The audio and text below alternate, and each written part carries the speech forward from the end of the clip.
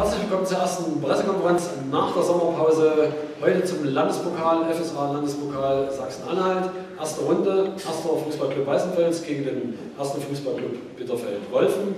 Halbzeitstand 2 zu 0, Endstand 5 zu 1. Für alle vielleicht ein bisschen überraschend von der Höhe her, aber letzten Endes ist es ein Sieg, der, denke ich mal, in Ordnung geht. Vielleicht ein, zwei Tore zu hoch oder Bitterfeld ein, zwei Tore zu wenig geschossen, aber da können wir gleich noch drüber diskutieren. Torschützen dreimal Simon Kügler wieder, äh, dann Nico, Nikolai Goll und Toni Kronowitz hat noch einen Elfmeter verwandelt. Äh, Robert Römer habe ich als Torschützen ausgemacht bei Ja. ja, ist korrekt. Ja, gelb-rote Karte dann noch für den 15er, Mhm. also für Rico Rödling. War die so weit in Ordnung? Ich habe es nie gesehen. Ich glaube, das war so weit weg irgendwie. Oh. Ja, da stellt Sven noch dazwischen. Aber wir nehmen es mal so hin. Im Prinzip, ich denke mal, der Schiedsrichter war nicht unbedingt der schlechteste.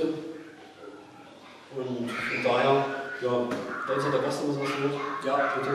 Danke. Erstmal natürlich Glückwunsch an Mike seine Truppe. Ähm, Im Großen und Ganzen natürlich verdienter Erfolg, da brauchen wir auch nicht lange drum rumreden.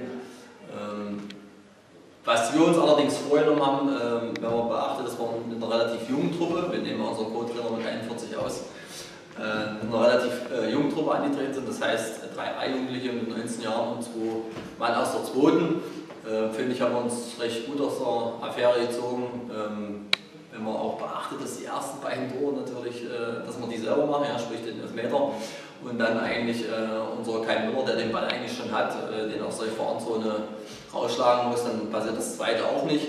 Dazu kommt natürlich die, äh, die Chance von, äh, von Nico Nitsche, wo er alleine auf den Christian Bölke zuläuft. Wenn wir den machen, äh, geht es vielleicht noch ein bisschen anders aus, aber aufgrund der äh, Spielanteile und auch der Wichtung der Chancen, gerade in der zweiten Halbzeit natürlich äh, absolut verdient. Sehe es ähnlich, vielleicht ein, zwei Tore zu hoch. Danke, Daniel. Mike? Ja, ähm, auch vom Gefühl her sehe ich das ähnlich. Ne? Vielleicht das eine oder andere zu, äh, Tor zu hoch. Ähm, für uns ist es natürlich erstmal toll, dass wir so gestartet sind in die Saison mit dem ersten Pflichtspiel. Ähm, grundsätzlich ähm, war ich mit der ersten Halbzeit überhaupt nicht zufrieden. Ähm, ich glaube, die Mannschaft selber auch nicht. Wir saßen in der Halbzeit, haben zwar 2 geführt, aber es war einfach das Gefühl, dass wir zu viele einfache Fehler gemacht haben. Ähm, der Gegner hat uns kommen lassen, das haben wir vielleicht sogar auch gewusst. Und ähm, es waren zu einfache Sachen, ne? äh, zu unnötige Fehlpässe, äh, wo wir immer wieder einen Gegner eingeladen haben, auch zu Torchancen. Ich glaube, da müssen wir wieder grundsätzlich arbeiten, das zu verbessern. Ähm, über 90 Minuten waren wir, glaube ich, immer die aktivere Mannschaft und ich denke, wir hatten auch das deutliches das Chancenplus. Äh, aber ich denke, wir, auch die Spieler, die äh, können das schon auch richtig einschätzen und richtig einordnen. Ähm, dass wir auf jeden Fall Stärkungspotenzial haben. Zweite Halbzeit hat uns das ganz klar besser gefallen. Da waren wir auch zielstrebiger in unseren Aktionen ähm, und haben da wirklich die Tore schön herausgespielt. Aber wir haben noch schon viel Arbeit vor uns. Das hat man schon gesehen. Der Gegner sicherlich äh, dezimiert. Ich weiß, da hat der ein oder andere äh, Spieler gefehlt. Das muss man einfach auch einordnen können. Aber auch bei uns haben ähm, fünf Spieler gefehlt heute. Ja, also wir waren jetzt auch noch nicht äh, mit der vollen Kapelle heute, oder sind mit der vollen angetreten. Ähm, ich bin zuversichtlich jetzt. Ähm, ich freue mich auf die nächste Trainingswoche. Und ähm, ja, wir wollen da sicherlich das Positive herausnehmen aus dem Spiel, aber wollen auch gerade an den, ähm, an den Themen arbeiten, auch die wir heute gemacht haben. Das hängt manchmal ein bisschen atemberaubend aus, ja. Was wir da geboten haben, da ein bisschen eingeladen ab und zu mal.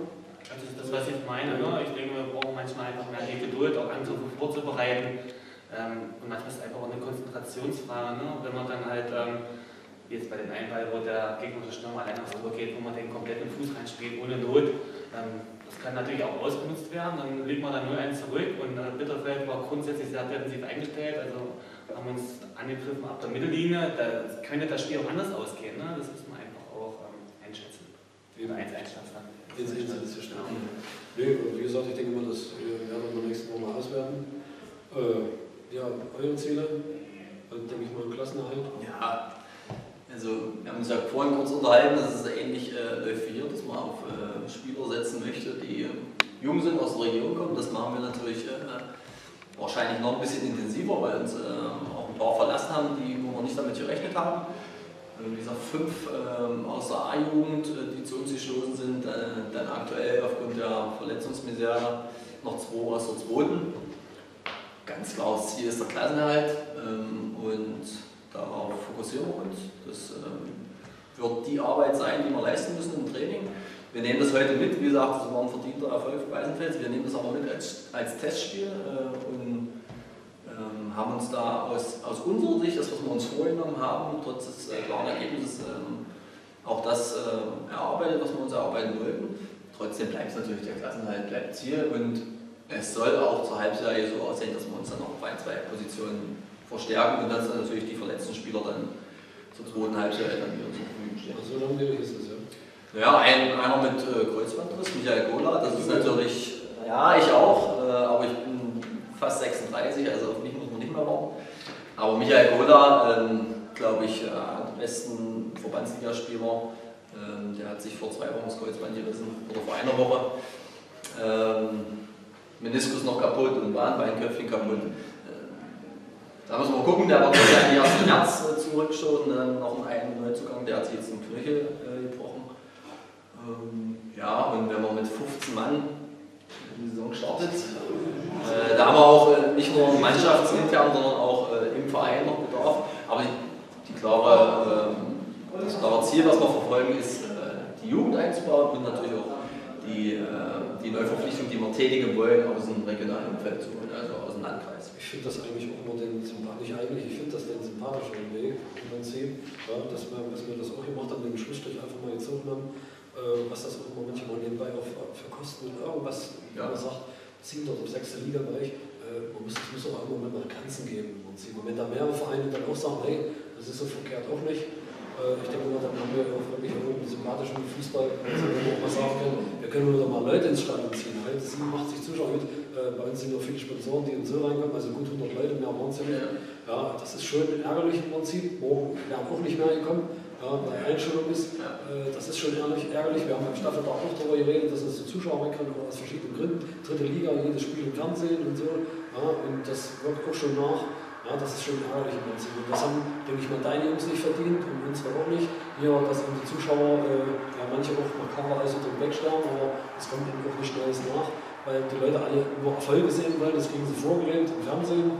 Ja, und äh, das ist halt ärgerlich. Da wird, denke ich mal, die Arbeit, die ihr, wir und auch die anderen Mannschaften in der Verbands- und Landesliga äh, leisten, nicht unterrichtet.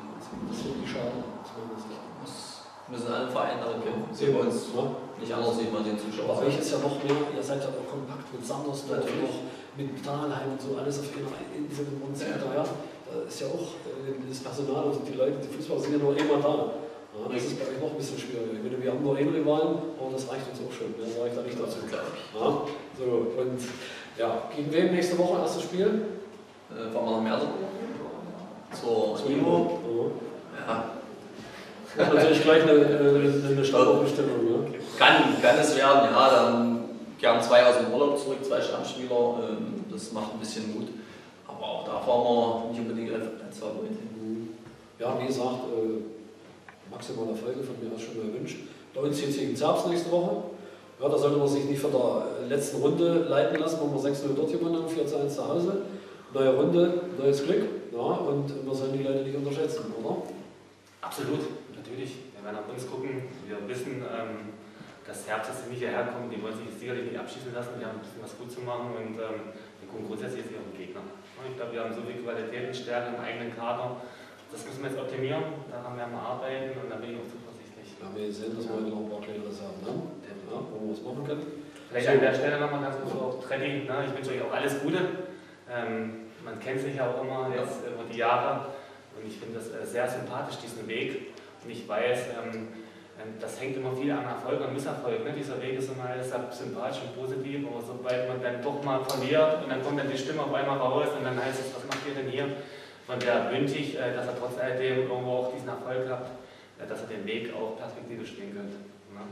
Das Das ist cool, dass natürlich äh, zurück von mir. Wenn er den ähnlichen Weg geht, bei euch äh, sicherlich nach oben in der Liga, man weiß es nicht, in den anderen Jahren war es relativ schwierig, vielleicht Ja, klappt es dieses Jahr. wie gesagt, Und ich würde mich natürlich freuen, wenn wir uns dann nächstes Jahr an Verbandsliga Verbandsliga wieder Das sehen. wäre auch schön. Wie gesagt, da würde ich schon mal eine Trainer wieder verdrücken als alte Team. Das wäre schon mal was wert. Ja, glaube ich. Ja, für der Verbandsliga.